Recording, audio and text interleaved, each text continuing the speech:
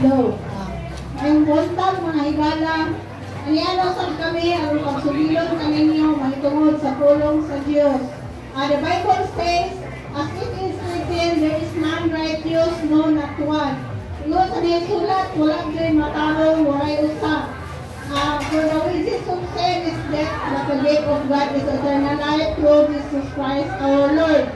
Ah, kaya bayan sa atong Itong tao dun, no? kasasala ang tao Itong tao. na atong ay ah, kanang kasi nga nagparusa nga ang bayad sa sala mga kamatayon akan adunay gasa sa Dios nga gitan niya pinaagi lamang kang Ginoong Hesus Kristo ang atong Ginoo ah ang mga utang karon ako kung sumimlan unsay pamaagi aron kita maluwas kaya nagsamya nagsugilon kami ninyo mahitungod sa pulong sa Dios ang sugilon sa Dios nga adunay kaluwasan kung kita mutuo musalig kang Ginoong Hesus Kristo kay siya man ang namatay dito sa krus Ah, John 14:6 nangingon, Jesus is the way, the truth, and the life.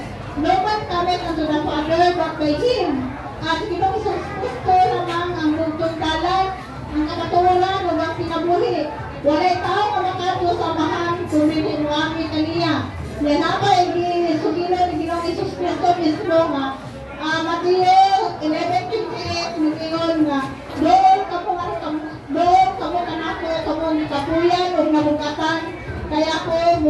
og pahulay. Niya isangon ang ako niyuhon anak kaninyo ug pagkat-on nga kanako kaya ako adunay mga atlet ug makagsalong nga kasing-kasing ug kamo makaangkon ug kapahulayan sa inyong mga kalag ang hisbutan kung hindi Ginoong Jesus Kristo kung atong kalang mga higala kay kitang tanan aduna jud kay kalag kung kitang tanan makasasala niya ang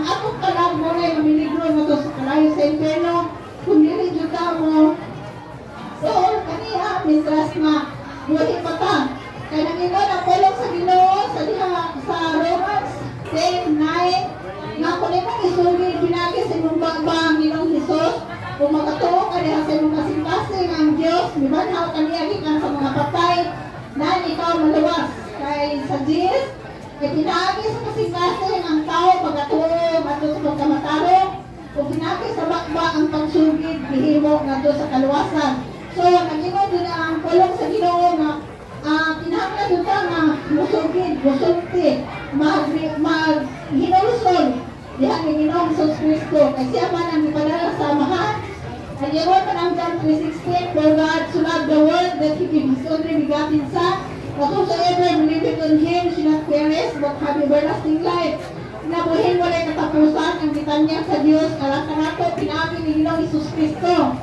Tungkol kay gihumpa kita sa Diyos, niya tungkol niya na, sa nato niyang humpa, iyang ipadala ang bukong pagkatao niyang anak na mga sa Ginoong Isus Kristo.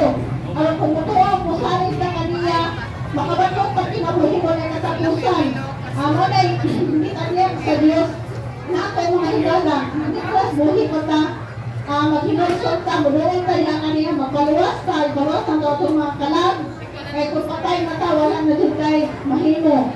Ang mga higala, ang episo, Ah, Diyos ko sa Panginoon, kay tungkol sa grasya, kamo na maluwas, pinagi sa pagtuo, dili ka na sa inyong kaugalingon, ini ang gasa sa Diyos. Gasa sa Diyos, mahigala ang kaluwasan, ang kaluwasan sa atong kalag, na dili sa mga buhat ang walay tao nga magpasigarbo. Ah, mga higala, pagtuo Panginoong Jesus Kristo ang makaluwas sa atong kalag. Sumod kay siya man na namatay dito sa cross, siya man ang bakuna sa iyang dugo aron sa pagluwas sa atong mga kalag. Mga kato ang sa kaluwasan ngayon kita niya kanato. kanato. Ah, iya, pabuta mga higala na ang Diyos ah, maka kung dili ka, dili ka makaluwas, wabot ang panahon nga ang Diyos gayon makuwat na sa tao sa ah, sima na sa nangyang sworn in nag-ingon in flaming fire taking vengeance to them that know not God and that not obey at that obey not the gospel of our Lord Jesus. Ah, mao na nga mitas karon sa pagkaluwag ninyo sa pulong niya. Kaning abwada ba? Part Ang pang klase. hinaot nga kamo magalandong sa inyong kinabuhi sa inyong kaugalingon nga kamo maghinulson, maghinulson jud niya. Ah, magmangayo pa sa ilo diha sa Ginoo kay ang pagpangay ang kalawasan na atong mangkon pinagi man sa pagsugid, pinagi sa tugbakbak ug tuhog makatuo diha sa tugasing ang Diyos ni banhaw kaniya ikas nga patay nga ikaw maluwas. Kaya sa Acts 30, thir- sa Acts 60:31 nagingon jud nga ang asero sa mo buhaton aron kami maluwas. Ah, sa ako sulpon na tubag na tuon ni Ginoong Jesus Kristo ikaw maluwas ug ang imong panimalay. Ah, believe on the Lord Jesus Christ and thou shalt be saved. Believe on the Lord Jesus Christ and thou shalt be saved.